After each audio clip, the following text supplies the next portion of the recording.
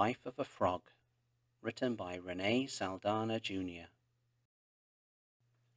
A frog changes many times as it grows.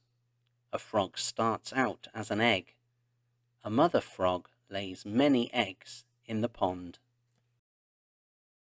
After a few days, an egg hatches. A baby frog is born. The baby frog is called a tadpole. The tadpole has gills on its body. The gills help it breathe underwater. Look at the tadpole now. It has back legs. Its gills are gone. It will be hopping soon. Now the tadpole has front legs. It has lungs to breathe air too. Look at the tadpole now. Its tail is shorter. Its legs are longer. It looks more like a frog. Look at the frog. It is ready to come onto land.